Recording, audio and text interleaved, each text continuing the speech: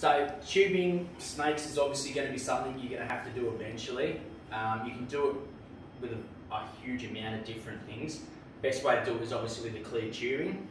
Um, these you can buy online, probably a little bit handier because you'll be able to get multiple different size tubes.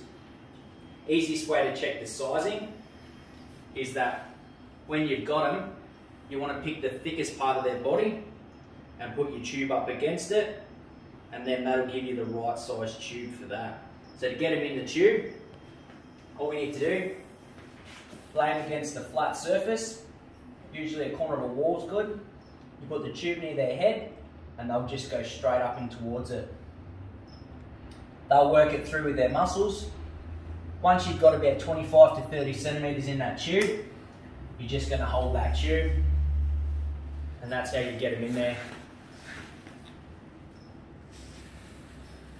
And they'll just keep working their way through that tube.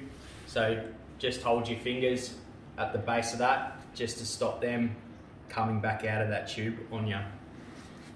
That's how you tube snake.